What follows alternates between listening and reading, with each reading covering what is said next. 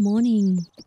We've got another beautiful day in Hyrule, and today in particular is quite special because I'm going to be riding past a place that I actually spent a lot of my childhood. And, oh, okay, so there's the sign from the goddess herself, Goddess Hylia, with a double rainbow. Okay, guys. Well, some of you asked me, you know, to talk a little bit about what it was like growing up here in Hyrule, and I wasn't sure. I was feeling a little bit shy, but um,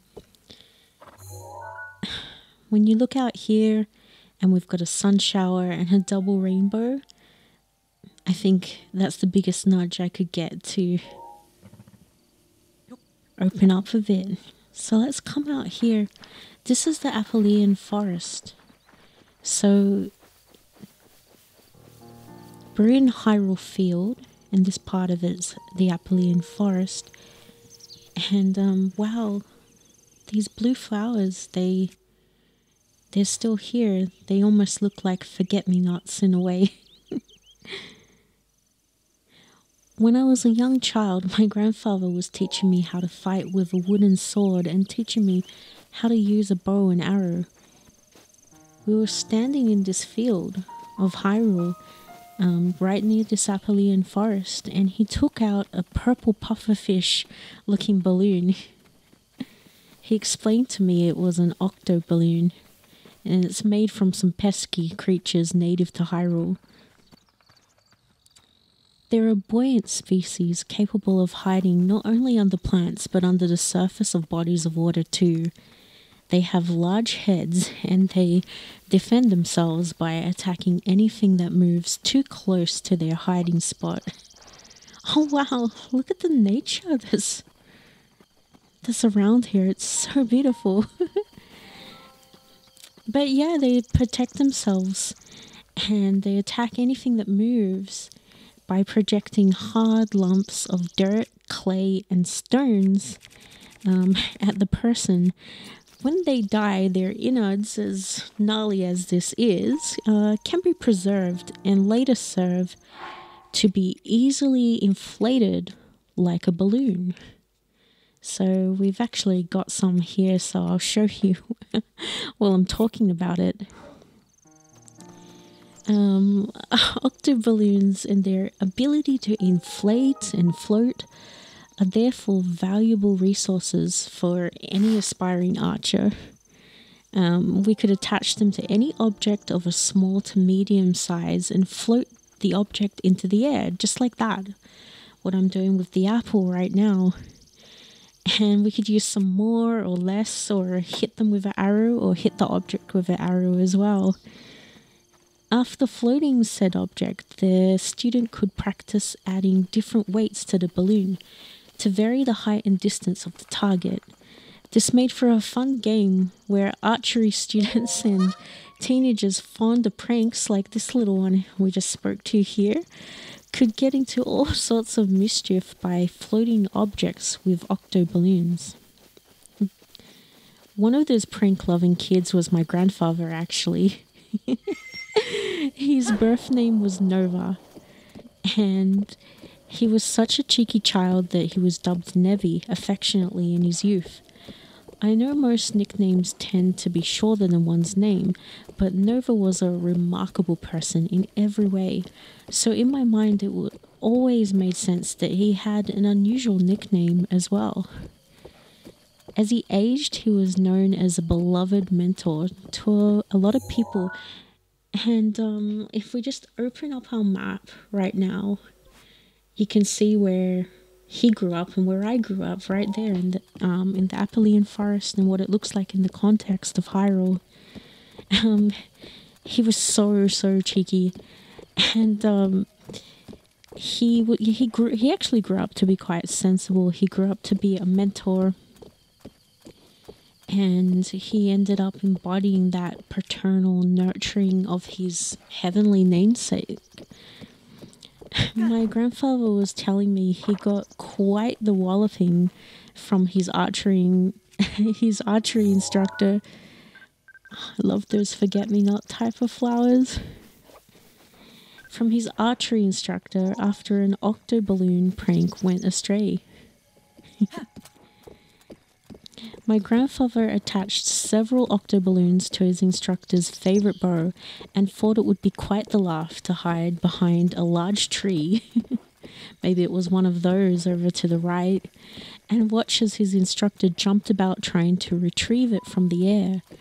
Instead, he overestimated the amount of balloons that would be needed to float the bow. Before he knew it, he was chasing the bow as it was swept away over a mound of grass. In a panicked attempt to chase the floating bow down, he grabbed his instructor's horse and set off at a gallop in a frazzled attempt to undo the mayhem he had caused.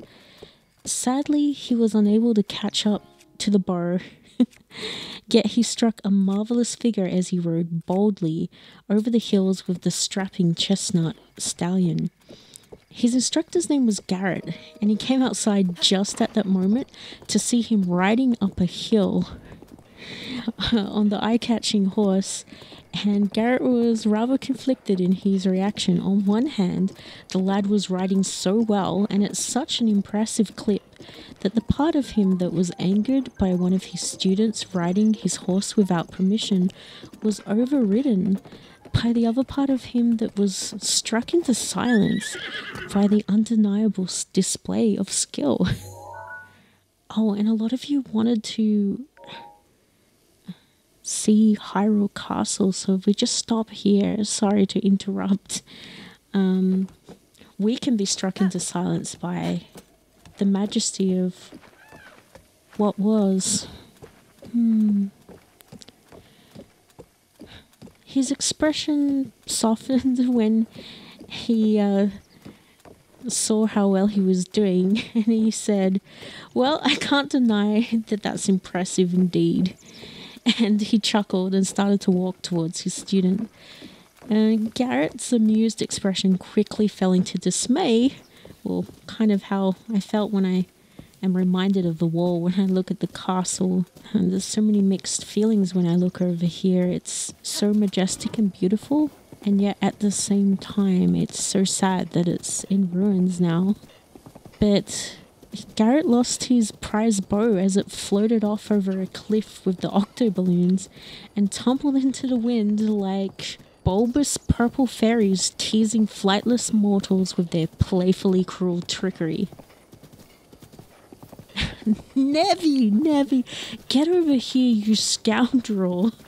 What in the name of Hylia have you done to my falcon bow? That was handed down to me by my own teacher when I was a boy. What possessed you to float it away like that? And why are you riding Chester? To this, my grandfather didn't have any good answers. Well, at least not good enough to calm an incensed adult on the brink of grief over his lost boyhood treasure. He was chased back to the farmhouse with a huge korok leaf. I had one of those strapped onto my back earlier, the big leaf and uh, given a swift whack or two along the way.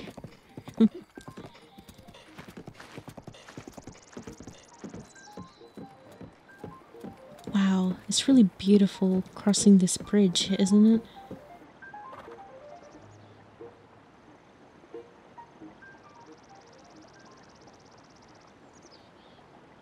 Just struck by that. My grandfather said to me, Well, kiddo, I'd like to pretend to have been a wise kid who instantly learnt my lessons, but in the spirit of honesty, that was not the last of my octoballoon hijinks. I'll have to tell you about the others another time, but for now, let's focus on improving your aim.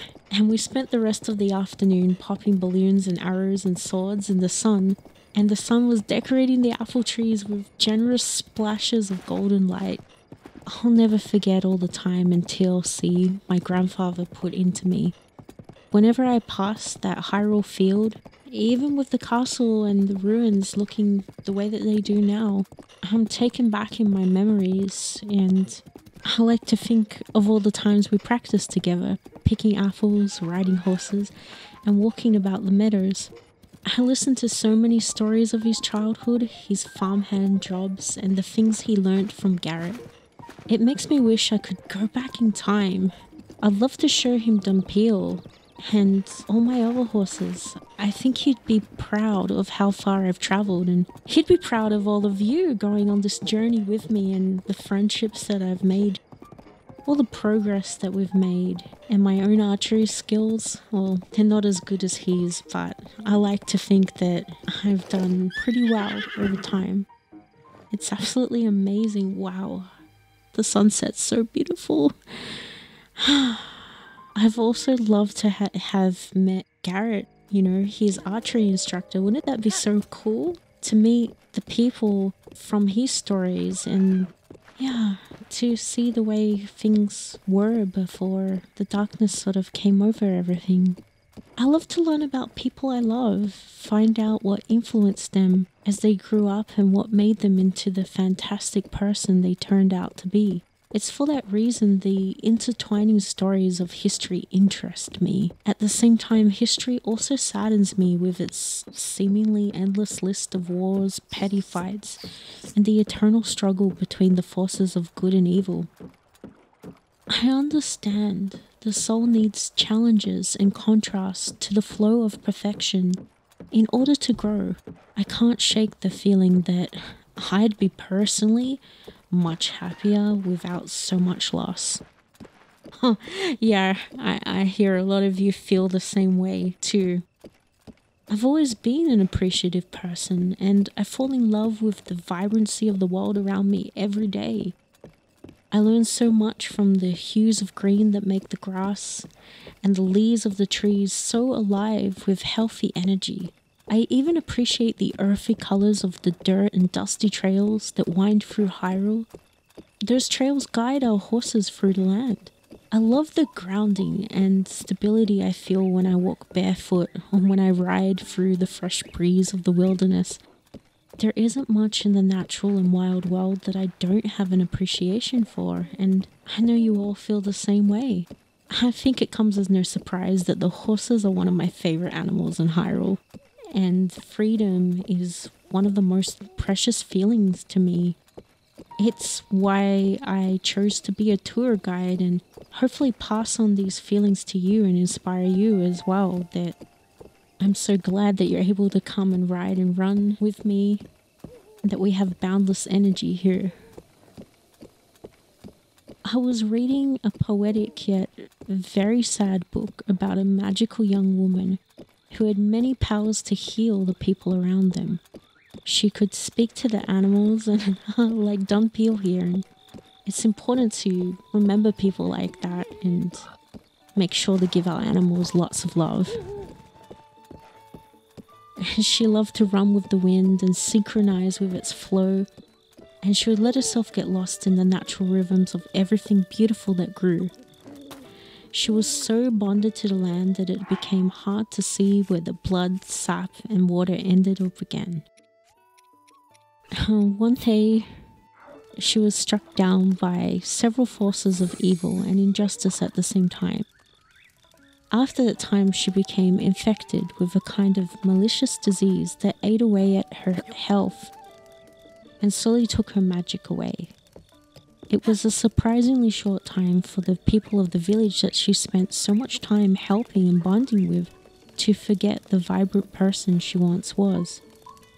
Her body dissolved with every painful year, the malicious disease refused to be banished from her being. Eventually, she could not speak with the animals, the people stopped visiting, the vibrant hues of her life melted away into the faded green greys of her blankets. She lost the ability to walk unaided and tragically started to take on the appearance of a tired crone rather than the maiden and hopeful mother she should have been. The book was very helpful in making me realize what a truly magnificent life I have lived out here on the trails of Hyrule, and how precious each day of our adventure together is. On that note, I have so much fun with all of you out here. I take great pleasure in being a constant companion to you all, and I hope if anyone is feeling like that magical maiden of my sad and thankfully fictional book that you know there are so many more paths that are yet to explore together. And we have a lot of time to see Hyrule together and make meaningful connections. If anything, the horses may be silent as far as speech we understand, but they are forever supporting our journey and the whole reason we can be out here today. Sweet dreams!